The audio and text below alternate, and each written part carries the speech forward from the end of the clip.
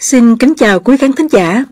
Nha Trang Khánh Hòa của chúng ta có biển đẹp hàng đầu và tiếp tục làm đẹp hơn, tạo ra một vùng Nha Trang Khánh Hòa đẹp về cảnh quan thiên nhiên, đẹp về nhân cách cao quý của những con người thân thiện, mến khách, sáng tạo, hiền hòa, đưa vùng đất Nha Trang Khánh Hòa là một miền đất cao quý trên thế giới với văn hóa đặc sắc, linh thiêng, xứ trầm hương.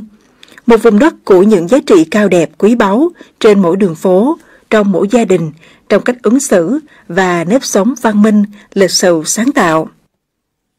Xây dựng văn hóa cao quý linh thiêng của xứ Trầm Hương, tạo ra những lễ hội đặc sắc thành những thương hiệu toàn cầu và tạo ra những giá trị văn hóa nghệ thuật mới, tạo ra sức hút du khách các nước văn minh tiên tiến đến với Nha Trang Khánh Hòa tạo ra môi trường sống tốt, cao quý để những nhà sáng tạo đến làm việc sáng tạo ở Nha Trang, Khánh Hòa.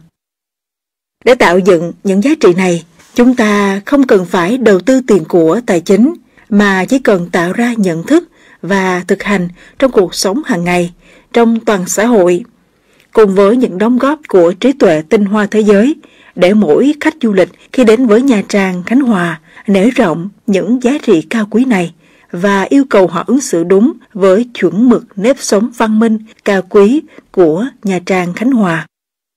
Đây chính là xây dựng sức mạnh mềm, tạo giá trị bền vững, tạo vị thế của Nha Trang Khánh Hòa với thế giới.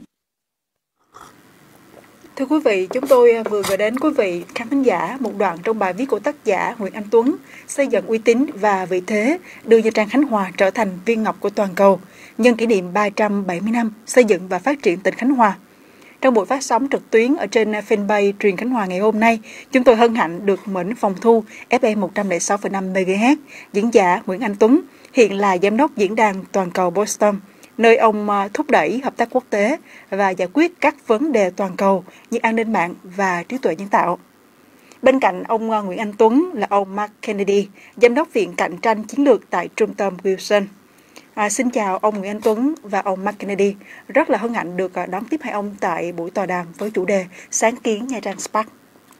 Xin chào Mai Phương và rất hân hạnh, rất vui mừng chào các bạn khán thính giả đang theo dõi hôm nay. Đối với tôi lúc này vô cùng xúc động một ngày rất đặc biệt, ngày quốc khánh của đất nước chúng ta và tôi được ngồi trong một cái một thành phố, một nơi mà tôi luôn luôn khi nghĩ về nó tràn đầy cảm xúc, nơi thân thương và bao nhiêu kỷ niệm đã nuôi dưỡng con đường đi tạo dựng cho mình có ngày hôm nay tôi rất là xúc động It's great to be in the Chang. Uh, wishing everybody a happy Independence Day and look forward to our conversation.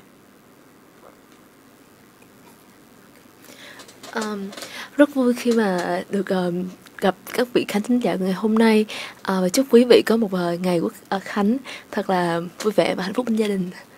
Dạ vâng, quý vị quan tâm đến chủ đề có thể đặt câu hỏi với khách mời bằng cách có để lại bình luận qua trên fanpage Truyền Khánh Hòa hoặc có thể giao lưu trực tiếp với khách mời thông qua số hotline 02583 524 218. Và để giúp quý vị à, tiện theo dõi thì mời quý vị cùng à, tìm hiểu, donate và các mời trong à, video sau đây.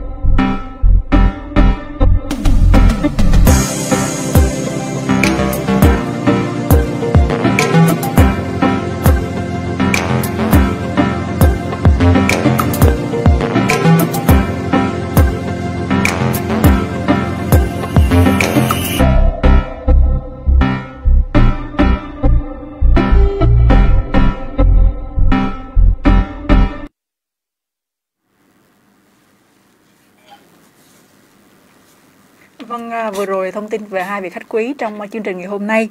Câu hỏi dành cho anh Tuấn. À, xin ông cho biết là ý tưởng của ông khi mà sáng lập à, diễn đàn toàn cầu Boston. À, ông có thể giới thiệu vài nét về diễn đàn ạ? À? Diễn đàn toàn cầu Boston là nơi tụ hội những giáo sư, những học giả, những nhà tư tưởng tập trung nhiều ở vùng Boston thuộc Đại học Harvard, Đại học MIT và các nhà lãnh đạo, à, cựu lãnh đạo trên thế giới cùng suy nghĩ, cùng chăn trở, tìm những giải pháp, những con đường đi để xây dựng một thế giới tốt đẹp hơn, hòa bình hơn, nhân ái hơn. Dạ vâng. À, diễn đàn toàn cầu Boston đã có rất là nhiều những cái hoạt động sáng kiến kết nối Việt Nam với cộng đồng thế giới. Ông à, tâm đắc với những cái sáng kiến đột phá nào nhất à, nhằm à, nâng cao cái vai trò vị thế của Việt Nam trên trường quốc tế ạ? À? Đúng là trong 12 năm qua thì rất nhiều là nhiều sáng kiến, nhiều việc làm à, với đất nước và hỗ trợ cho đất nước. Nhưng mà với tôi thì có lẽ vào mình ở Nha Trang thì mình rất là sâu nặng với nó. Và cái sáng kiến làm tôi tâm đắc và luôn luôn là yêu mến và muốn làm nhiều đó là Nha Trang Khánh Hòa Spark. Kết nối Nha Trang Khánh Hòa với Boston, với trung tâm trí tuệ của thế giới và với nước Mỹ. Đồng thời, sáng kiến gần đây là với viện cạnh tranh chiến lược của trung tâm Wilson tại của Quốc hội Hoa Kỳ. Và do ông Mark Kennedy bạn đồng nghiệp và đối tác à, làm giám đốc thì đó là sáng kiến Indo-Pacific Spark làm sao tăng cường quan hệ kinh tế chính trị phát triển thịnh vượng giữa các quốc gia Mỹ, Nhật, Ấn Độ và Việt Nam. Tức là Việt Nam, Tổ quốc chúng ta sánh vai có vị thế cùng với các nước có vai trò vị trí hàng đầu thế giới. Và tôi cảm rất tâm đắc và rất xúc động và rất mong muốn dành tâm huyết cho những sáng kiến như thế này. Dạ vâng. À, vâng thưa ông Kennedy ạ, à, vai trò của ông tại uh, trung tâm Wilson và viện uh, WABA về cạnh tranh chiến lược là gì ạ? Uh, Mr. Kennedy, what do you do as the director of the WABA Institute for Strategic Competition at Wilson Center? So the Wilson Center is a memorial to Woodrow Wilson, sponsored, chartered by Congress. And I focus in the WABAS Institute on how can the U.S. with our allies engage the world economically in a better way, whether it be through trade, support for infrastructure investment, energy. Um, so là viện uh, trung tâm Wilson Center là được thành lập bởi Quốc hội của Mỹ uh, và ông uh, Mark Kennedy là giám đốc của viện uh, viện Wabash Institute thuộc Wilson Center Wilson Center thì là tập trung vào cái việc mà đẩy mạnh thúc đẩy kinh tế giữa Mỹ và các uh, các nước uh, đồng minh của Mỹ uh, trong đó là có thể thông qua các việc như là đẩy mạnh về thương mại và cũng như là hỗ trợ về đầu tư về cơ sở hạ tầng. Dạ vâng. Ông cảm thấy thách thức lớn nhất trong công việc của mình là gì ạ? Um, what do you find is the most uh, challenging aspect of your work? Our customers are both ends of Pennsylvania Avenue, the White House, and Congress. And not everybody in those places uh, fully understands and appreciates the benefits of mutual ga- engagement. That it's good for other countries, it's good for America. That's perhaps the biggest challenge. Um, uh, đối tác mà của Wilson Center hai đối tác chính á, là Nhà Trắng và là Quốc hội của Mỹ uh, và cái điều mà khiến ông Mark cảm thấy khó gọi là khá là khó trong cái công việc của mình chính là cái việc mà làm thế nào để tất cả mọi người ở ở ở, ở hai bên đều hiểu được là cái việc là khi mà uh, việc mà có lợi cho Mỹ và à, có lợi cho các nước bạn các nước đồng minh thì cũng sẽ là có lợi cho Mỹ nên nó là một cái tình huống mình có lợi song phương. Dạ vâng, cảm ơn ông. Ở Việt Nam thì ông Tuấn là một nhà báo khá là nổi tiếng, là từng là tổng biên tập tờ Việt Nam Net và ông rời ghế tổng biên tập tạo dựng sự nghiệp ở Boston. Đâu là cái ngã rẽ quyết định ông ờ, đi trên con đường thứ hai này ạ? À? Thực ra thì tôi là người có lẽ là người luôn luôn tạo dựng, tạo dựng thành công rồi lại đi tạo dựng cái mới. Ở Nha Trang Khánh Hòa thời đó thì tạo dựng Vietnet rồi cũng trưởng thành rồi ra Hà Nội và Hà Nội thì tạo dựng Việt Nam Net thì cũng 14 năm, lúc gần 14 năm rồi. Thì lúc mình nghĩ rằng là à, cũng tạo ra được những cái vị thế dấu ấn của Việt Nam Net cho đất nước. Thì mình mong muốn làm cái gì đó tạo dựng gì đó ở thế giới để thử sức và thử xem tạo dựng vị thế cho đất nước ở thế giới có được không. Thì đấy là cái chăn trở nhất. Mong muốn tạo gì cho những cái giá trị của Việt Nam đóng góp với thế giới để thể hiện vị thế của chúng ta đấy Dạ. có lẽ là cái trăn trở nhất Dạ vâng, đó là trăn trở nhất của ông ạ. Ở diễn đàn à, toàn cầu Boston thì các học giả tham gia diễn đàn thế giới sẽ cùng tìm cái giải pháp cho các vấn đề toàn cầu. À, tại sao họ lại chọn ông, một người Việt Nam, làm người đứng đầu và dẫn dắt diễn đàn ạ? thứ nhất là tôi cùng là đồng sáng lập thứ hai tức là ý tưởng là mình là một trong những người tạo ra ý tưởng phải xây dựng một diễn đàn toàn cầu Boston vì tôi có các gọi là các, học giả các giáo sư các nhà lãnh đạo đó ngồi với nhau nói chuyện thì nói rằng là mình đi làm diễn tả nhiều nơi. Thế nhưng mà tại sao thì giữa Boston nơi có Harvard có MIT có tập trung trí tuệ gọi trung tâm trí tuệ của thế giới mà không có một cái dự, diễn đàn xứng tầm để tập hợp và có tiếng nói có dấu ấn thế giới thì bắt đầu đưa ra ý tưởng đó. Và khi triển khai thì à, tất nhiên là mình phải có ý tưởng. Tôi nghĩ rằng là do mình có những cái ý tưởng có thể đi trước độc đáo và họ nhìn thấy có ý nghĩa và thứ hai là cái khả năng tập hợp tập hợp các nhà lãnh đạo rồi ờ, truyền cảm hứng cho họ cùng làm cho các giáo sư các học giả các nhà tư tưởng của các trường lớn như Harvard, MIT và các trường khác trên thế giới để thấy những cái ý tưởng, thấy những sáng kiến là đi trước đó rất có ý nghĩa cho nhân loại cho tương lai. và họ thấy cảm hứng và thì có ý nghĩa để đi làm cùng. Thì tôi nghĩ rằng là chính có lẽ đi đó do đó mà à, giao cho mình nhiệm vụ à, tận tắt và triển khai. Dạ vâng, có lẽ ông là người phù hợp à, đối với à, mọi người. Và câu hỏi dành cho ông Kennedy ạ, ngày 21 tháng 6 thì diễn đàn toàn cầu Boston, Viện WABA về cạnh tranh chiến lược của Trung tâm Wilson cùng công bố quan hệ đối tác mới nhằm tìm kiếm và phát triển các chiến lược nhằm tăng cường quan hệ kinh tế và chính trị giữa Mỹ, Nhật Bản, Ấn Độ và Việt Nam. À, xin hỏi ông Kennedy thì mục tiêu chính của sáng kiến hợp tác này là gì ạ? Um, so we have a question for Mr. Kennedy.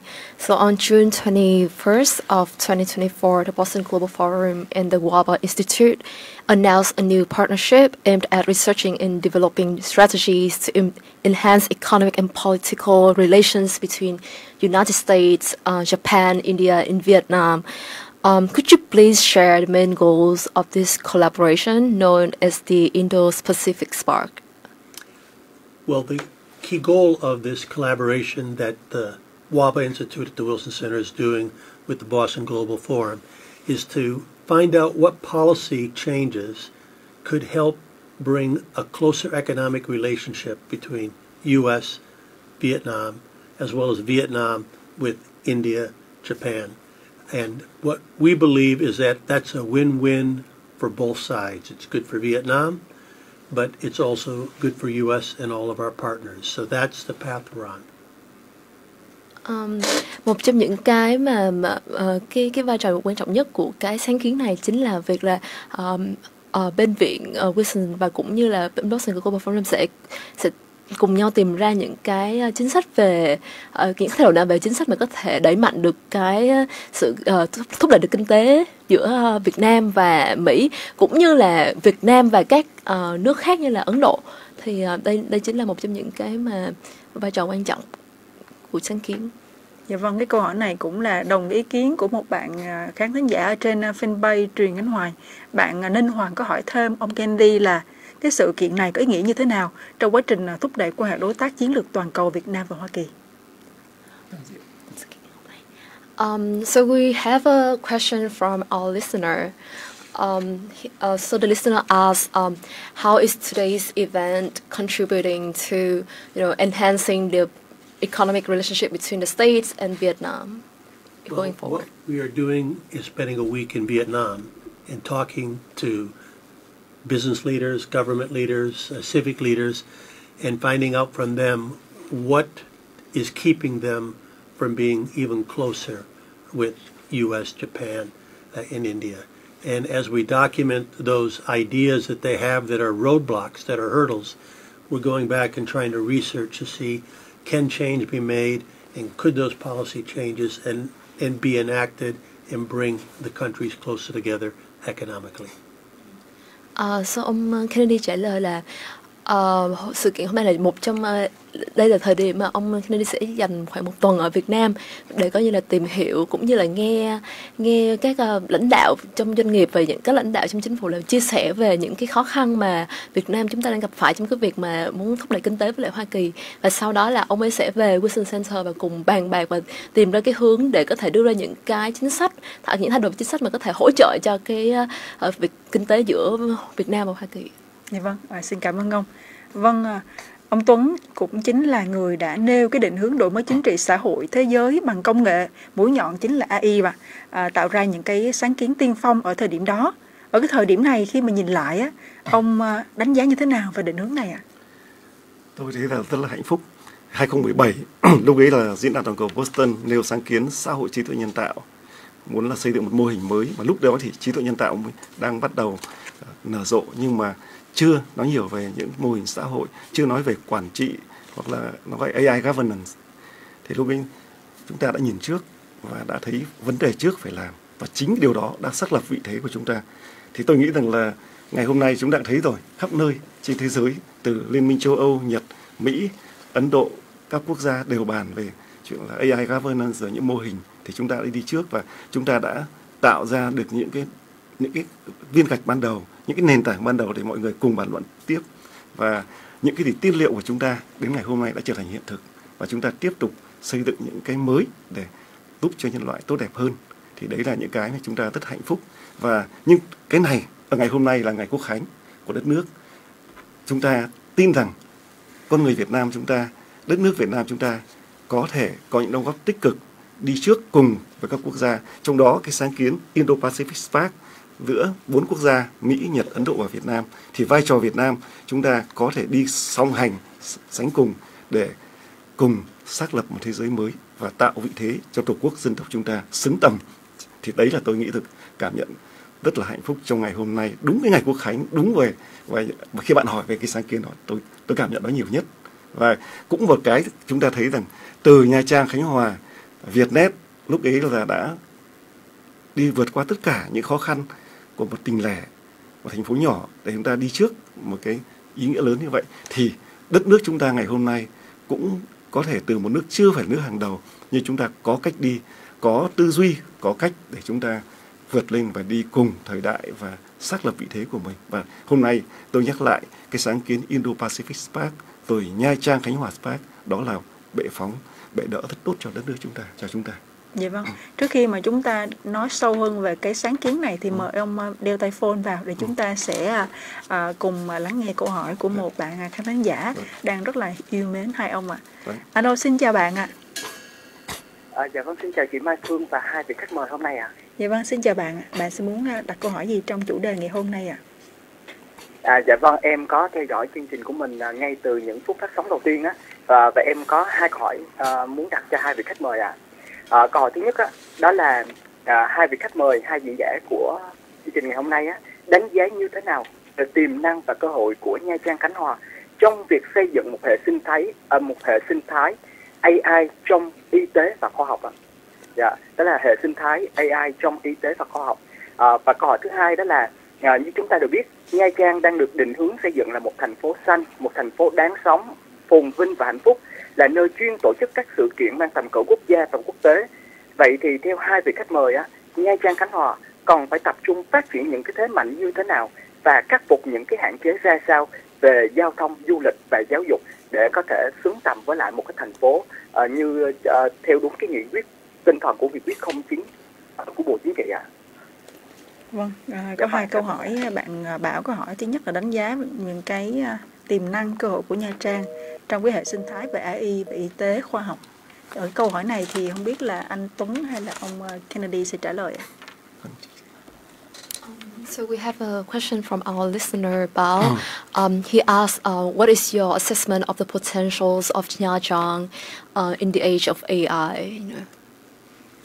Well, I think uh, there is great potential for Nha Trang in the age of AI because what it does is it empowers uh, many different types of activities to be more efficient and to use your uh, your skills more effectively. So it's a uh, It's a great tool that should be adapted.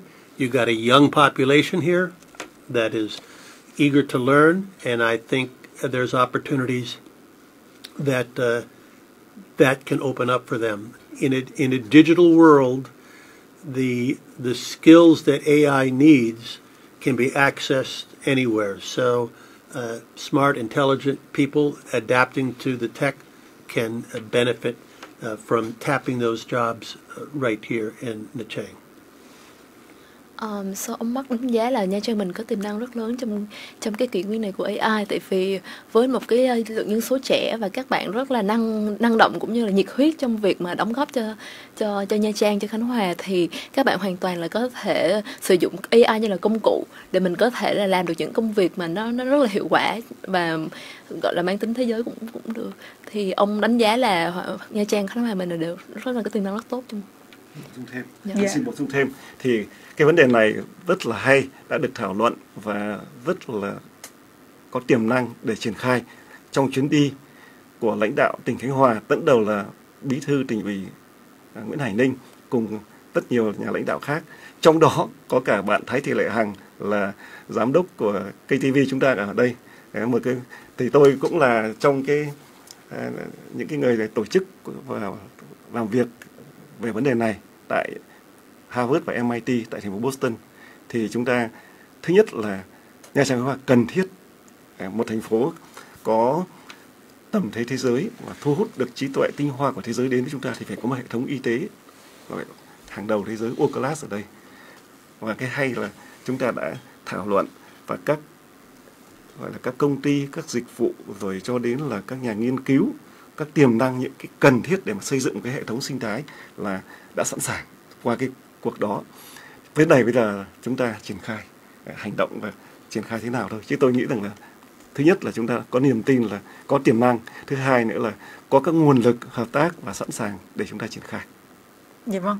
À, câu hỏi thứ hai bạn có hỏi là Nha Trang của mình thì định hướng thành phố xanh này và chuyên một thành phố mà chuyên tổ chức sự kiện.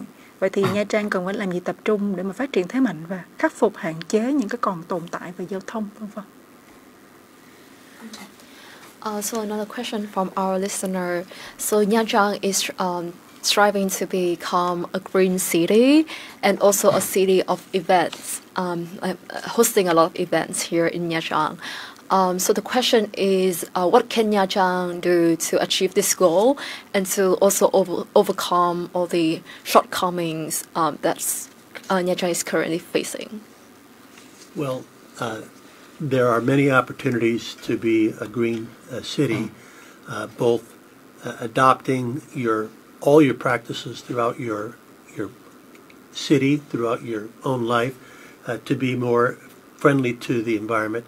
From a uh, from a attracting more events, this is amongst the most uh, you know beautiful scenic areas uh, you could imagine. Uh, we always find that what attracts people are either beaches or mountains.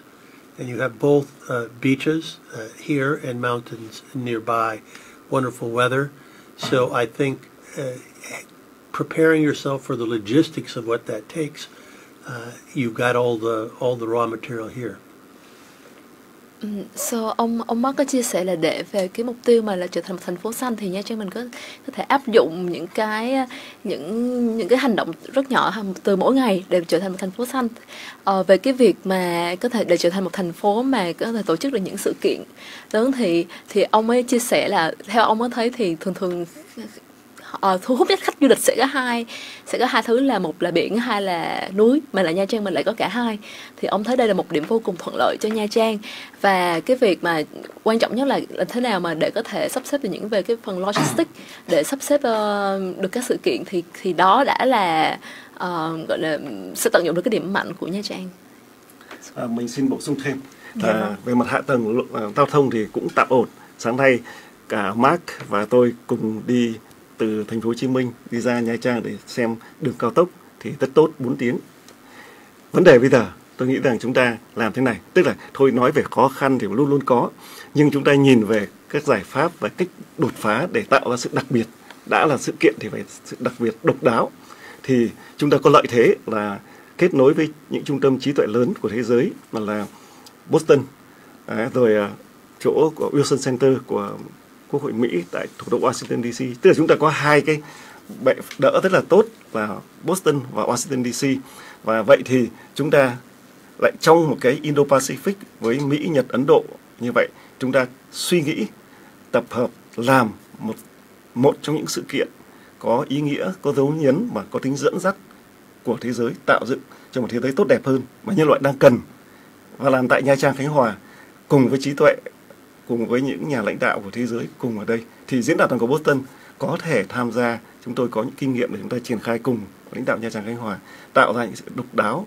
Và đây là điểm đột phá, cái nút thắt mà làm được cái này sẽ bật chúng ta lên hẳn.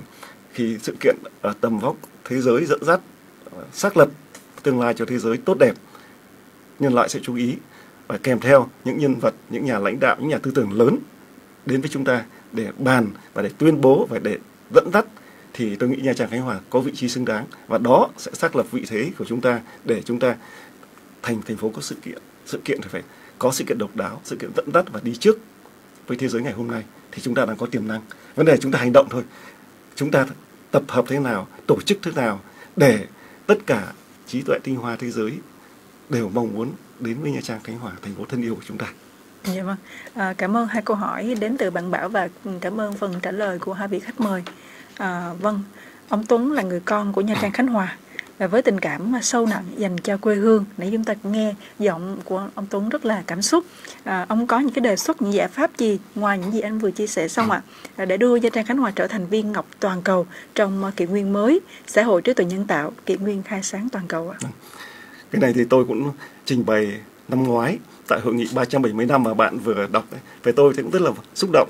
Vì năm ngoái mình trình bày cái báo cáo đó thì bây giờ các bạn giới thiệu cái này lại nói lại. Có nghĩa là đã có sự đón nhận của Nha Trang, của các bạn đồng nghiệp. Thì đó là một cái tiềm năng. Thế còn tôi nghĩ rằng là cái ý tôi vừa nói rồi là về chuyện sự kiện tầm cao. Thế thì bây giờ để làm thế thì nó, cái tôi nghĩ rằng là chính chúng ta về này cái Nha Trang, Khánh Hòa Spark. Tại những cái sáng kiến mới đó, thì tôi nghĩ rằng là chúng ta sự kiện và nhân vật thì bây giờ chúng ta cố gắng làm sao để nơi đây là nơi tụ hội thường xuyên những nhân vật tầm cao đến và ngồi thảo luận thôi. Có thể không phải là sự kiện lớn nhưng mà họ đến họ đây nơi đây một cái nơi để cùng suy nghĩ cùng thảo luận trong những đêm nhìn ra biển nhìn bầu trời đẹp của nha trang nhìn xa như thời. Tôi ở trên tầng 4 của đội khánh hòa nhìn ra biển xa có những ước mơ bay rất xa như vậy. Thì tôi nghĩ rằng nha trang chúng ta là bệ phóng và bệ đỡ để đón nhận những cái đó. Đấy, thì từ cái tương tác đó tầm cao đó đấy kiểu như là Mark Kennedy rồi các giáo sư các nhà tư tưởng của Harvard, MIT hoặc nơi trên thế giới về với chúng ta thành nơi này là nơi như một cái nơi ấm áp ấm cúng với tình cảm con người quê hương của chúng ta ở đây và tạo cho họ thấy như gắn bó với nó phải đến với đây. Đấy, thì tôi nghĩ đó là cái quan trọng nhất. Rồi cái người dân chúng ta tôi đã nói rồi các bạn vừa đọc cái ý đó. Mỗi người dân nha trang khánh hòa bản thân đã đẹp rất đẹp về nhân cách. Và tôi cũng được thừa hưởng những cái cái cái, cái, cái truyền thống đó để tôi có ngày hôm nay đúc kết cũng là từ người con đúng là người con kinh nghĩa của nha trang khánh hòa để có. Thế thì tôi nghĩ phát huy những cái đó. Thế còn bản thân tôi thì tôi nghĩ rằng là sẽ nỗ lực cao nhất. Đấy, và thời đại ngày hôm nay cạnh tranh hơn nhau là trí tuệ thôi tầm cao. Thì chúng ta có lợi thế vốn liếng trí tuệ rất lớn ở Boston và chúng ta đã có một kết nối một cách chính thức à, và rất nhiệt huyết rồi. Thì bây giờ tôi vẫn ngoài trở lại là hành động. Đấy, làm sao chúng ta hành động? Và là, ban đầu làm một sự kiện à, mang tính là nó đột phá để tạo dấu nhấn. Nói thì, thì nói phải có một điểm nhấn đột phá ban đầu thì chúng ta làm cái đó trước. Đấy. dạ vâng um, ông vừa chia sẻ về cái việc kết nối giữa Nha Trang Khánh Hòa với Boston và Massachusetts um, hay là sáng kiến Nha Trang Khánh Hòa Spark rất có ý nghĩa và rất cần được triển khai sâu rộng thực chất. Vậy thì ờ, hai ông có thể chia sẻ thêm về cái sáng kiến Nha Trang Khánh Hòa Spark? À, tôi là người khởi xướng cái sáng kiến này. Thì đúng như bạn nói nói về một trong những cái tôi bảo là khi dự cái hội nghị ở Nha Trang và phát biểu thì một trong cái khó khăn nhất của tôi là kiềm chế cảm xúc luôn luôn dâng trào bởi vì thành phố nó mảnh đất này thân thương quá và rất thiêng liêng với mình. Thì tôi nghĩ rằng là à, đây cái sáng kiến này là nơi mà làm sao để kết nối tôi hòa hội tụ giữa nhà Trang Khánh Hòa với Boston. Và không chỉ với Boston Massachusetts mà đấy Washington DC rồi Tokyo rồi Ấn Độ rồi những thành phố châu Âu. Thì do diễn đàn của Boston chúng ta có những cái nhân vật có nhân vật có các tổ chức có uy tín chẳng hạn như là liên minh lãnh đạo thế giới rồi đấy như là Wilson Center rồi rất nhiều khác à, thì chúng ta có thể ừ, tạo ra một cái network cái mạng lưới. Và chính từ ý tưởng đó thì tôi nghĩ rằng là làm sao kết được. Thì cái kết vừa rồi là đẹp là giữa đoàn của lãnh đạo Khánh Hòa và bí thư Nguyễn Hải Ninh và các bạn trong đó các bạn Thái Thị Lệ Hằng tôi tâm sự rất nhiều và từ đó mới có cái buổi ngày hôm nay. Thực sự và cái tương tác để gặp gỡ. Thì tôi nghĩ rằng đấy chúng ta rất Khánh Hòa chúng ta rất đáng yêu rất có nhiều cái cả hai bên để mà kết được. Thì bây giờ cái lúc này là cái sáng kiến này là cái sáng kiến thực sự nó mang tính cái spark. Nó là gần như trong kinh thánh trong các bạn nhớ trên à, điện cái, cái cái trần Sixtine có bức tranh của Michelangelo nói về tạo ra có hai cái thượng đế có cái spark cái spark bắn tạo ra nhân loại tại con người thì cái spark này nó là tương tác giữa Nha Trang Khánh Hòa với lại Boston Massachusetts để tạo ra một cái gọi là gọi tia chớp tiếng sét thì đó. Thì tôi nghĩ đấy là cái biểu tượng của nó nói động ra. Thế còn cái chuyện kết nối tôi đã nói qua hết rồi bây giờ không phải nói lại nữa.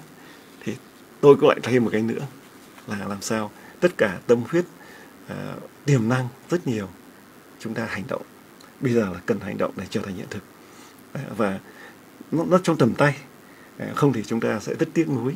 Và chúng ta nhớ rằng mỗi giây phút cạnh tranh vô cùng khốc liệt. Chúng ta cạnh tranh từng giây từng phút một. Phải làm sao chúng ta làm nhanh như là các bạn tổ chức cái talk show ngày hôm nay ấy, nhanh trong vòng một ngày. Bạn Thái Thị Hằng và các bạn đồng nghiệp đây tôi nghĩ rằng đó đó là một cái biểu hiện để chúng ta làm nhanh nhanh đến như vậy. Thì tôi tin là cái sáng kiến Nha Trang Spark nó sẽ thành hiện thực nhanh cũng như Spark và chúng ta làm như mấy ngày hôm nay. Dạ vâng, còn với ông Kennedy, một người bạn tâm huyết của ông thì trong cái sáng kiến Nha Spark này thì ông cái vai trò của ông trong cái sáng kiến này như thế nào? Um, so in the Nha Trang Kanhwa uh, Sparks initiative, um, what role do you play and how will you contribute to this initiative? Well, we're happy to contribute from the Washington perspective. Having the connection with Boston is vital because not only does it have some of the best universities in America, but it also has some of the best high tech companies. It also has a very strong uh, venture capital. Uh, but sometimes there's a policy angle to that. And so, as the Boston uh, Global Forum and Wilson Center are collaborating, we can perhaps shed light on some of the policy aspects of digitization and AI evolution. Vâng thì từ phía của ông Kennedy thì ông sẽ kết nối từ ờ, thủ đô Washington của Hoa Kỳ là nơi mà sẽ đưa ra những cái chính sách, những cái hỗ trợ về chính sách mà có thể giúp thúc đẩy về uh, thúc đẩy cái cái sáng kiến này. Còn uh, Boston Global Forum thì chỗ ông uh, Nguyễn Anh Tuấn thì sẽ là sẽ là nơi mà kết nối những gọi là những cái tinh hoa về về trí tuệ của các trường đại học rồi kể cả các quỹ venture fund để họ uh, để đưa họ về đây để hỗ trợ cho Khánh Hòa. Dạ vâng. À, thưa ông Tuấn thì ông luôn nhấn mạnh cái tầm quan trọng của giáo dục liên văn hóa.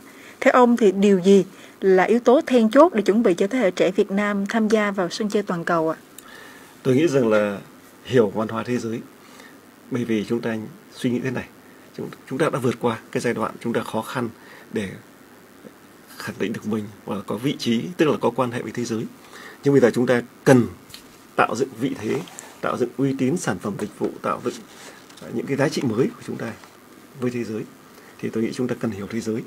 Thì cần hiểu thế giới chúng ta, để hiểu và yêu thương thế giới, thì chúng ta coi thế giới là rất gần gũi, thân thiết cũng là của chúng ta.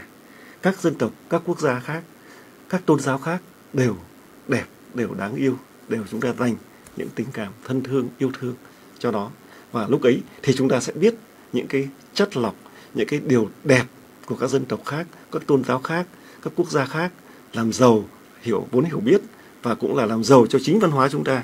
Và từ cái nền tảng này, sự hiểu biết này, chúng ta tạo ra những giá trị mới cho nhân loại khi chúng ta có cái tâm huyết, có những cái khát vọng và có trách nhiệm với nhân loại thì chúng ta có một cái tầm để chúng ta đi như vậy. Thế do đó, bạn nói về liên văn hóa, tức là chúng ta học hỏi, lắng nghe, hiểu biết trân trọng các dân tộc khác.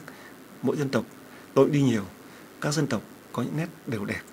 Các quốc gia có những nét đẹp riêng ở mức độ khác nhau. Và giữa các tôn giáo cũng vậy. Thì hồi à, tháng đầu tháng 6 vừa rồi à, tại Vatican thì tôi cũng có hy vọng là à tôi cũng có vinh dự là được làm uh, diễn giả tại hội nghị liên tôn giáo. Thì chúng tôi cũng nêu ra cái vai trò cũng như trách nhiệm và những cái ý tưởng để mà làm sao liên kết các tôn giáo xây dựng một thế giới mới về trí tuệ nhân tạo gọi là xã hội trí tuệ nhân tạo thì được rất được hoan nghênh. Và chính giáo hoàng à, uh, Francis hôm đó cũng chào đón. Và sau này thì cái hội nghị ờ, G7 Summit thì giáo hoàng Francis đã phát biểu rất nhiều vấn đề AI Đấy, thì do đó là tôi nghĩ rằng là đây là cơ hội. Và thêm một điểm nữa là rất thuận lợi để học hỏi. Thời chúng tôi thì thiếu tài liệu đất nước đóng cửa không có điều kiện giao lưu thế giới nhiều còn bây giờ chúng ta mở phải nói cũng rất biết ơn các vị lãnh đạo đi trước cái thời đổi mới một cái thời năm 1956 với những lãnh đạo như là tổng bí thư Trường Trinh, ờ, thủ tướng Võ Văn Kiệt, những người tạo ra cái sức mở mạnh mẽ cho đất nước chúng ta thì chúng ta bây giờ thông tin rất nhiều, internet, truyền thông, viễn thông kết nối đầy đủ hết, có nhiều.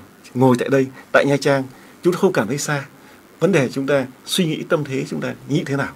Đấy thì tôi nghĩ rằng ngày hôm nay chúng ta chỉ có khi chúng ta suy nghĩ có một phương pháp tư duy mới, có một tâm thế tư duy mới với thế giới thì chúng ta sẽ có cách thức liên kết học hỏi văn hóa làm giàu văn hóa thế giới đi cùng chúng ta và đó là cái nền tảng và cái giá trị để chúng ta tạo dựng trong xã hội trí tuệ nhân tạo cho kỷ nguyên khai sáng toàn cầu. Dạ vâng, cảm ơn ông ạ.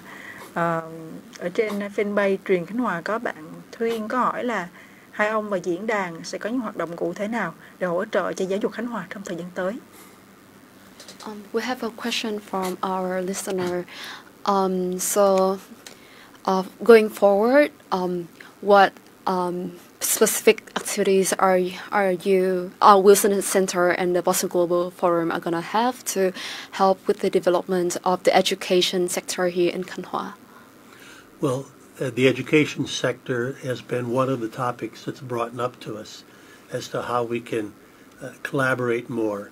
And certainly education will be vitally important as the tech economy accelerates.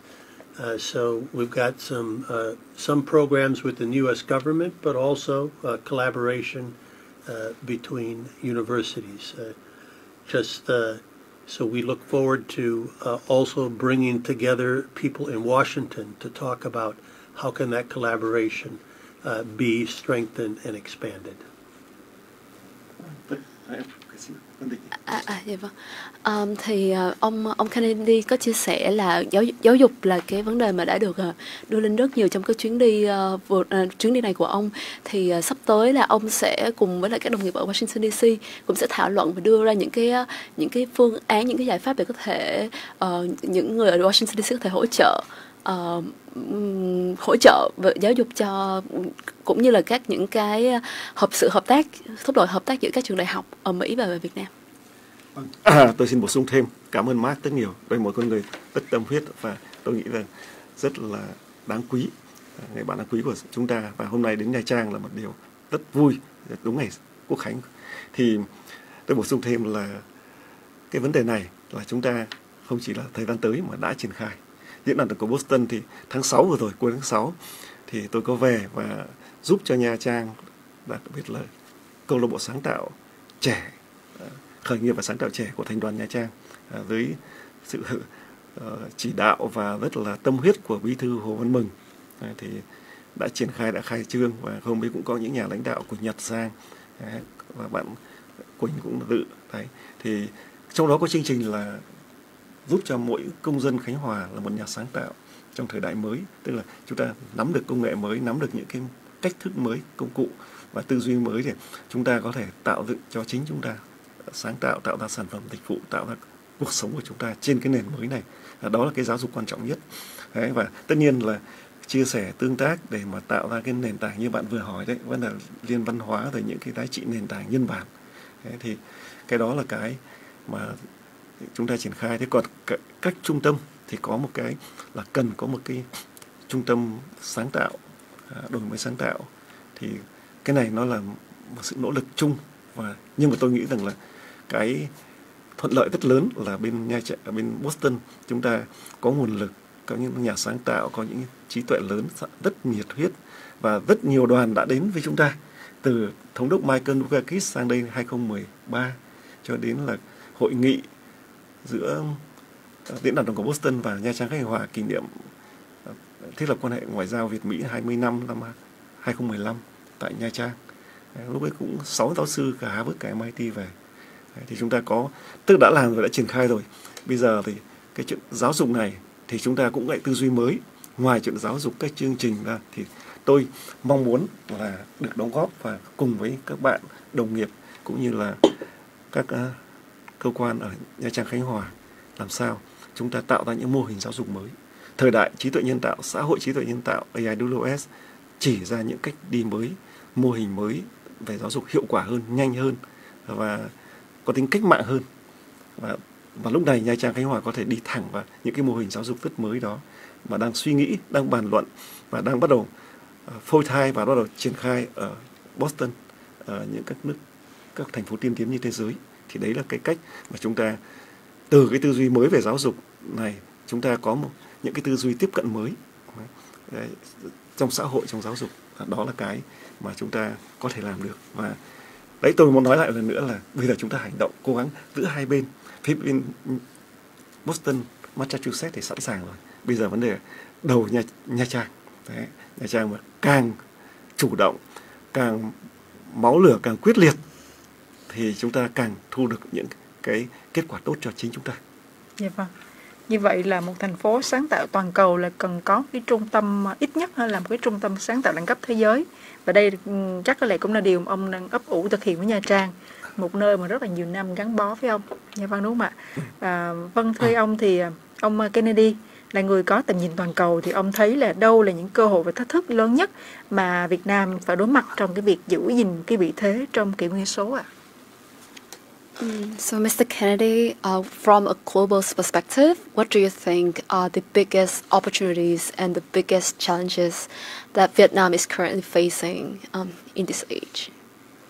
Well, I think uh, if you're looking at it from a digital perspective, the biggest opportunities is that it can bring work to wherever you are. And particularly here, if you're in Nha Trang, and you don't want to leave because you have such a beautiful area, uh, you can work uh, remotely. That's that's a big opportunity uh, for here.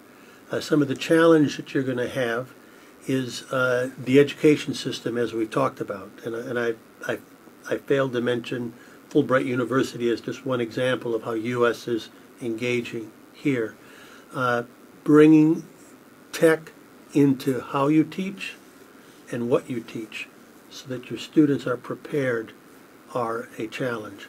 I think a, another oppor- another challenge is that uh, when you look at tech, it uh, it Im- the more higher income jobs you're making more efficient, the more you can justify to invest in tech. You need to, even though you don't have as high of income, still invest in that tech so that you make sure that you're able to leverage uh, the benefits of what it can bring to you. Vâng uh, cái mà điểm mạnh lớn nhất mà tôi nghĩ mà Nha Trang có cái cơ hội lớn nhất của Nha Trang là hiện cũng như trong cái thời đại này thì là gần như là chúng ta đều có thể làm việc từ xa. Thì như vậy thì có nghĩa là các bạn có thể là vẫn cứ sống ở thành phố Nha Trang xinh đẹp nhưng mà chúng ta có thể làm việc ở bất cứ đâu và có thể làm việc ở, cho bất cứ ai. Thì cái này sẽ là một cái uh, cơ hội rất lớn. Uh, còn những cái mà thách thức mà Nha Trang đang gặp phải thì thì uh, trong cái uh, ví dụ trong cái vấn đề hệ thống giáo dục của chúng ta thì chúng ta phải có cách để chúng ta đưa gọi là công nghệ và cái cách chúng ta dạy cũng phải gọi là công nghệ và và cũng các bạn học sinh cũng nên được học về công nghệ về về chứ không thì như vậy thì nhờ cái từ cái nền tảng đó thì chúng ta mới có thể là uh, càng đầu tư thêm về về công nghệ và những từ những cái đầu tư về công nghệ đó nó sẽ sinh ra những cái kết quả mà nó sẽ đẩy mạnh về kinh tế cho cho tỉnh của chúng ta thì ờ, à và ngoài ra thì tôi cũng muốn ờ, à, ông ông Kennedy cũng muốn ờ, nói thêm là về cái một trong những cái ví dụ mà về việc mà Mỹ đã hỗ trợ Việt Nam trong cái cái nền phần giáo dục là đã cái cái trường đại học Fulbright là đã về Việt Nam thì trường này là cũng là một trường rất là uy tín. Dạ thì thì đây là một trong những cái, cái ví dụ mà ông ông cũng muốn đề cập về cái việc mà Mỹ đã hỗ trợ Việt Nam như nào. Vâng cảm ơn ông ạ. À. ở trên fanpage truyền Khánh Hòa có bạn nước xanh bạn có bình luận là ông có thể chia sẻ thêm về việc diễn đàn toàn cầu Boston và hỗ trợ ra mắt câu lạc bộ khởi nghiệp sáng tạo trẻ thành phố Nha Trang Khánh Hòa với thông điệp là truyền cảm hứng tới người dân Nha Trang, nhấn mạnh là mỗi người dân là một nhà đổi mới sáng tạo. Vâng. Tôi, tôi chưa rõ câu hỏi của bạn, tức là hỏi là để làm rõ hơn về cái việc chúng ta sẽ làm hay là nói về cái sự kiện hôm đó. Thì nếu mà giả sử nói rõ hơn về việc đã làm thì tôi sẽ giới thiệu, tôi giải thích thêm. Thế còn nếu mà nói về sự kiện hôm đó thì tôi nghĩ là chắc là mọi người cũng cũng nói rồi tức là trong các tin tức rồi làm thì hôm đó cũng một sự kiện rất là ý nghĩa. Thế, nhưng mà tôi nghĩ để làm rõ và làm sâu sắc để triển khai được cái ý tưởng này ấy, là thì câu lạc bộ sáng tạo khởi nghiệp sáng tạo của thành đoàn là cái nơi các bạn trẻ tụ hợp và rất nhiều bạn có tâm huyết và người Nha Trang thì vốn là ham học hỏi và rất là cầu tiến. Thế thì chúng ta có thể chính cái thời xưa chúng ta hay gọi là bình dân học vụ ấy thì bây giờ chính các bạn này sẽ lan tỏa. Còn tất nhiên bên giáo sư của giáo sư Tom Peterson và các giáo sư bên đại học Harvard của diễn đàn toàn cầu Boston ấy, sẽ thiết lập những cái chương trình nó phù hợp với Nha Trang Khánh Hòa với người dân Nha Trang Khánh Hòa của chúng ta. Đấy, và làm sao dễ tiếp cận nhất dễ hiểu nhất à, ngắn gọn người ta lại học ít hiểu nhiều và học là nền tảng ban đầu để học sau đó học tiếp tục học mãi cuộc đời chúng ta là quá trình học suốt đời. Đấy, thì đó là cái kiểu chương trình như vậy. Thế thì à, làm sao để đến với mọi người dân? Các bạn trẻ thì dễ. Các bạn trẻ tiếp cận rất nhanh và nhưng mà mọi người dân mọi nơi mọi căn hộ. Thì tôi nhớ cái thời tôi ở nha trang vào lớp uh, hè còn đi đến uh, dạy kèm cho một số những người lớn tuổi để cho phổ cập kiến thức cho mọi người. Thì bây giờ chính thành đoàn nha trang và các bạn trẻ lại đi làm nhiệm vụ đó phổ cập cho các tầng lớp nhân dân cách thức tiếp cận. Và chúng ta làm sao để thấy rằng là à, những cái công nghệ mới những cái công cụ mới về những cái phương pháp tư duy mới này nó rất đơn giản nó không có gì gây gớm quá. Đừng cảm thấy nó sợ hãi như một cái con ngáo ụp rất đơn giản dễ hiểu. Như cái máy điện thoại chúng ta dùng cái thì xong vậy thôi. Đấy thì khi mọi người vượt qua được cái tư duy sợ sệt và ngại ngùng như vậy và thấy đơn giản để tiếp cận thì chúng ta tiếp cận và tiếp cận sau đó là đến bước tiếp theo là bắt đầu cố gắng hỗ trợ để mọi người có thể làm được à, tạo ra được cuộc sống của mình. Thì đấy là những cái giáo dục. Vừa là nguyên những kiến thức nền tảng hoặc là những cái hiểu biết nền tảng đó. Rồi bước thứ hai là đến cho làm. Làm ra, rồi phải làm thì phải có thị trường, phải gắn kết với thị trường để tiêu thụ. Thì thị trường đó là thị trường trong nước và phải hỗ trợ để ra được gắn kết thị trường thế giới. Đấy là những cái bước chúng ta làm rất đầy đủ, toàn diện cho một chương trình, mỗi công dân một nhà sáng tạo. Và tôi tin và hy vọng rằng nếu lãnh đạo và nhân dân tỉnh Khánh Hòa của chúng ta mà có khát vọng và có tâm huyết triển khai chương trình này, thì tôi tin rằng trong thời gian ngắn thôi, chúng ta sẽ thấy kết quả rất tốt và có bước tiến. Và chính những cái kiến thức, hiểu biết cũng như là vượt lên đó với những nhân cách như các bạn vừa nói trong cái bài trình bày của tôi năm ngoái đấy, thì một thành phố con người đẹp nhân cách nhân ái như thế chân tình à, lại ham lại học hỏi có hiểu biết. Tôi nghĩ rằng cái nền tảng đó cùng với những cái mà sáng kiến à, Nha Trang Khánh Hòa Spark đấy, à, tập trung cái trí tuệ của thế giới về cùng với chúng ta thì chắc chắn chúng ta sẽ tạo ra điểm nhấn một mô hình một thành phố rất đẹp của nhân loại trong kỷ nguyên mới. Đó đó cái giáo dục của chúng ta cái câu lạc bộ khởi nghiệp và sáng tạo và chúng ta mong muốn hướng đến nó là thế. Dạ vâng. Ở trên fanpage truyền khánh hòa có bạn phạm gloria có bình luận dạ thưa hai ông là hai ông đánh giá như thế nào về vai trò của trí tuệ nhân tạo trong việc định hình tương lai của báo chí và truyền thông? Um, we have a question from our um, listener. Um, so, what do you think is the role of AI um, in defining the you know the future of um, newspaper and media and you know, mass media? Well, um, it is going to accelerate uh, people's ability to uh, gather news, but AI, as we're finding, can make deep fakes that are uh, not the truth. And so uh, we also need to leverage AI to figure out how to tell whether something is authentic. So uh, making sure that AI is actually revealing reality as opposed to creating a alternative reality that isn't real is going to be a, a big challenge uh, for media. Uh, ông Kennedy chia sẻ thì là ông ấy nghĩ là về uh, trong truyền thông á, thì AI nó lại nó nó giống như một con dao hai lưỡi. Thì um, cái mặt tốt của nó là nó có thể giúp chúng ta tiếp cận được thông tin một cách nhanh chóng và hiệu quả hơn rất nhiều. Nhưng mà ngoài ra thì cái vấn nạn mà đi mà đem, AI đem lại chính là cái gọi là deepfake là có nghĩa là những thông tin uh, những thông tin hình ảnh không chính xác. Và và cái cái cái um, khó khăn cái thách thức của chúng ta chính là chúng ta phải làm thế nào mà chúng ta phải tự tận dụng AI sử dụng nó như thế nào để có thể phân biệt được đâu là thông tin chính xác và thông tin không chính xác. À, thì... Vâng, tôi xin bổ sung thêm là những ý của ông Mark nói rất rõ ràng rồi. Thì trong xã hội trí tuệ nhân tạo mô hình AI AIWS đó chúng ta cũng nhìn thấy rõ những thách thức và cũng đang liên kết với các trung tâm nghiên cứu trong đó trung tâm Sorrentine Center của về truyền thông chính trị và chính sách công của Đại học Harvard rồi các trung tâm như MIT Connection Science và MIT Media Lab rồi của bên à, Đại học MIT và Stanford nữa. Thì đưa ra những cái giải pháp, những cái công cụ à, tools và đồng thời nỗ lực cái là hỗ trợ cho mọi người để dễ nhận biết và phân biệt và đánh giá để tạo ra được một cái xã hội thông tin. Bởi vì đúng à, nếu mà xã hội thông tin mà bị nhiễu và bị sai lệch thì vô cùng nguy hiểm.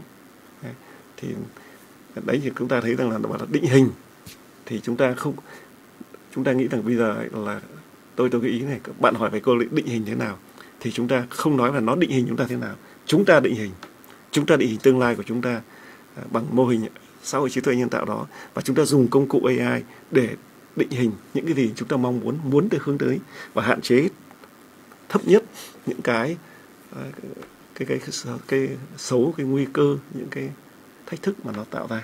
Đấy thì chúng ta đang xã hội trí tuệ nhân ta đang làm cái đó và chúng tôi cũng đang từng bước. Thì các bạn à, nếu mà quan tâm thì ờ, sẽ có những cái hội nghị. Các bạn mời các bạn tham gia trong hội nghị của diễn đàn toàn cầu Boston. Và tháng 10 năm nay thì diễn đàn toàn cầu Boston có hợp tác với uh, hội nghị Riga. Hội nghị Riga là tại Latvia là hội nghị lớn. Nó có sức ảnh hưởng lan tỏa và quy tụ rất nhiều nhà lãnh đạo của thế giới ở đó. Thì chúng ta có một cái section ở đó về vấn đề này tức là AI và những cái vấn đề xử lý thông tin. Thì lúc ấy đang tập hợp và sẽ công bố những cái báo cáo những cái giải pháp và những công cụ. Đấy, thì chúng ta đưa ra cái quan niệm concept và mục tiêu và cũng con đường cũng như cái giải pháp những cái hướng để giải quyết.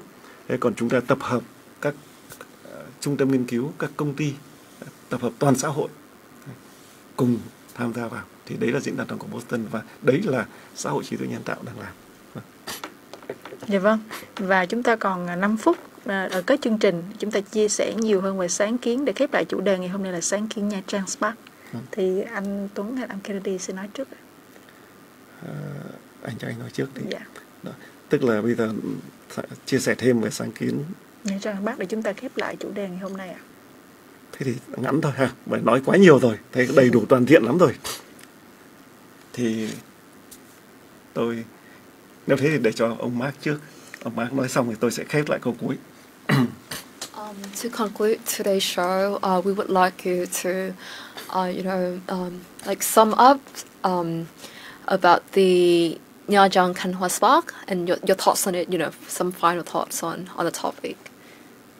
My final thoughts on the topic is that, that technology is moving so fast and there is so much complexities to it that the more interconnectedness that you have with other people, particularly those at the cutting edge of technology, and the implications for people, uh, the better off the city will be, the better off the province and the and the nation will be. Um, ông ông Mark chia sẻ là trong cái trong cái xã hội mà công nghệ là đang phát triển vô cùng nhanh như thế này thì cái việc mà kết nối giữa giữa con người và con người những giữa nguồn lực chính là cái chìa khóa rất là quan trọng trong cái việc mà thúc đẩy cho nền kinh tế của của tỉnh nhà mình cũng như là như thành phố Nha Trang và Khánh Hòa để trở nên uh, tốt đẹp hơn. Vâng, tôi xin bổ sung và có lẽ là câu kết như bạn nói thì những lúc mở đầu là ngày nay ngày 2 tháng 9 tại thành phố rất là thiêng liêng trong tôi thì với sáng kiến nhà trang Khánh Hòa Spark tôi ước mơ và tôi tin là chúng ta sẽ đạt được những mục tiêu, những cái dự định mà đã nêu. Thì các bạn muốn tìm hiểu thì có thể vào trong diễn đàn toàn cầu Boston cũng có, thì chắc là trên fanpage của KTV sau này cũng có và uh, tại sao không? KTV sẽ là một đầu mối kết nối với nhà với lại Boston Massachusetts À, với diễn đàn toàn cầu Boston và à, tôi thấy một các đội ngũ rất là à, năng động và rất là khát vọng rất là nhiệt huyết như thế này thì tôi cảm nhận như một cái ten tích của tôi ngày xưa xây dựng Vietnet ấy. tôi tin tin rằng uh, nha trang uh, nha trang khánh hòa spark sẽ có tạo ra được những cái dấu ấn tạo ra sức bật phát triển đặc biệt cho nha trang khánh hòa mà không chỉ đưa trí tuệ nhân loại đến với chúng ta để phát triển chúng ta. Ở đây tạo ra một trung tâm của thế giới mà chúng ta cùng đóng góp xây dựng một thế giới mới. Trong đó, chúng ta có đóng góp xứng đáng và lúc khi chúng ta có vị thế xứng đáng. Và có nền học xứng đáng khi chúng ta làm một cái gì? Chúng ta trồng cây, chúng ta làm thì chúng ta làm bỏ sức ra tâm cùng làm, thì khi thành quả hưởng thụ, chúng ta cảm thấy hạnh phúc sung sướng. Thì sau này, một cái xã hội mới, xã hội trí tuệ nhân tạo từ qua sáng kiến nha trang khánh hòa spark đó nha trang khánh hòa chúng ta cùng xây dựng xã hội trí tuệ nhân tạo và tạo ra cùng một thế giới mới đẹp. Lúc là nhìn thấy thành quả nó nhân loại đi đến thế giới tốt đẹp hơn như vậy cùng với các quốc gia hạt nhân trong Indo-Pacific Spark, Mỹ, Nhật, Ấn Độ và các nước trong vùng. Thì Nha Trang Khánh Hòa và Việt Nam chúng ta à, tự hào và hạnh phúc và cũng thấy rằng chúng ta đã làm được gì đó cùng với nhân loại trong tương lai. Đấy là điều tôi mong muốn và cũng là một cái kết nói về cái sáng kiến Nha Trang Khánh Hòa Spark và tôi một lần nữa trong ngày này tôi bày tỏ lòng biết ơn sâu sắc tới mảnh đất Nha Trang Khánh Hòa với những con người, những bạn đồng nghiệp, những nhà lãnh đạo trước đây ở bưu điện Khánh Hòa cũng như lãnh đạo của Nha Trang Khánh Hòa đã hỗ trợ nâng đỡ dành nhiều tình cảm đặc biệt để tôi thành đạt bản thân cũng như tổ chức thành tích để tôi đi ra Hà Nội và đến ngày hôm nay. Thì làm được cái gì cho Nha Trang Khánh Hòa tôi sẽ làm. Nha, Nha Trang Khánh Hòa bảo làm gì làm và về lúc cần về bất kỳ lúc nào tôi sẽ về. Tôi sẽ kể cả không về ngồi ở Boston thì trái tim tôi vẫn luôn luôn dành cho quê hương Nha Trang Khánh Hòa thân yêu. Dạ vâng. Ở trên à, fanpage truyền Khánh Hòa thì bạn Ninh Hoàng có bình luận này xin cảm ơn về những đóng góp của hai ông cho quan hệ hợp tác giữa hai bên và cũng mong rằng là hai ông cũng sẽ là một cầu nối tích cực mạnh mẽ trong sự hợp tác lâu dài, ổn định và phát triển hơn nữa giữa hai quốc gia nói chung và giữa Nha Trang Khánh Hòa Boston nói riêng. À, xin cảm ơn hai ông. Đó là lời cảm ơn của khán thính giả à, và còn cảm ơn của biên tập viên là cảm ơn ông à, Nguyễn Anh Tuấn và ông Mark Kennedy đã dành thời gian chia sẻ với chúng tôi về những thông tin các ông à, cung cấp rất là quý báu và chúc các ông sẽ tiếp tục thành công trong các dự án sắp tới. Và trước khi kết thúc chương trình thì không biết là các ông có cái lời khuyên nào dành cho lãnh đạo tỉnh Khánh Hòa trong cái việc thúc đẩy chuyển đổi số và phát triển nguồn nhân lực chất lượng cao ạ? Um, uh, so we would like to thank you for your time today.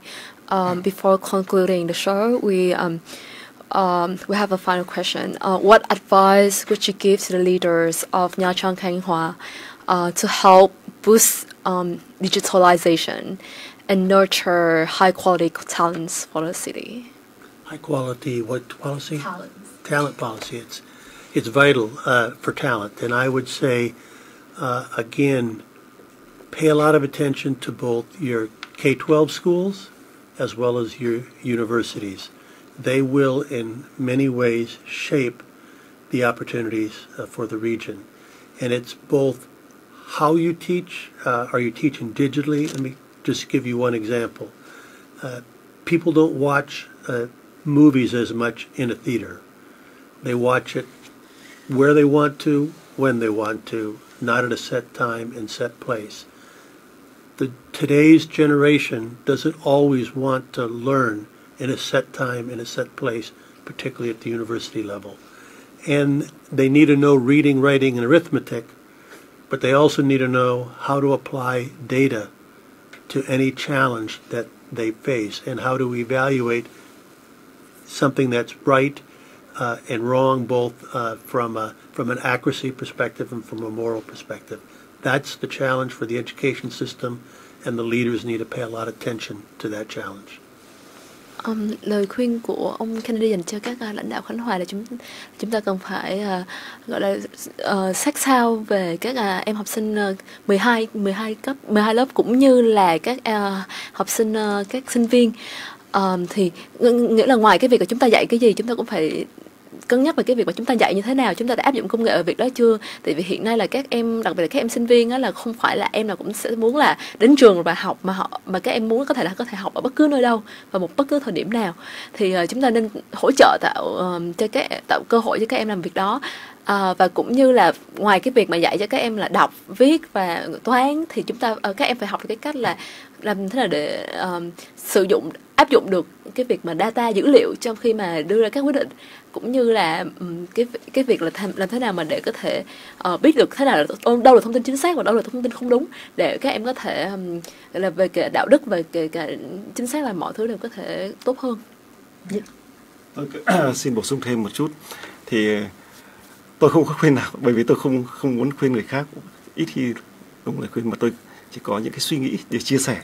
Thì tôi chia sẻ với các nhà lãnh đạo, những người, thực ra cũng là những người bạn tôi rất quý mến, là làm sao tạo ra những chính sách, tạo ra môi trường, tạo ra cơ chế để mỗi người dân nha trang, khánh hòa chúng ta phát huy cao nhất năng lực của mình, đóng góp xây dựng nha trang, khánh hòa và xây dựng đất nước tôi nghĩ rằng con người chúng ta đẹp đẹp lắm và giàu tình cảm giàu khát vọng lắm ý chí lắm.